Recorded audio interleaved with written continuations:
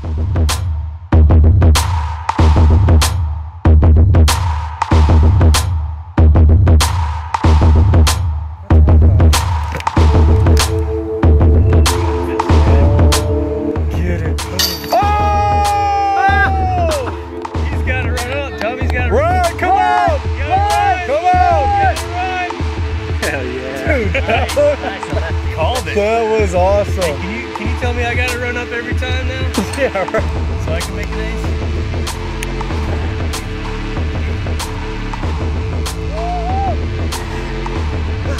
Grab that and then run up to the camera. Bring it up, buddy. Let's hear ah, this.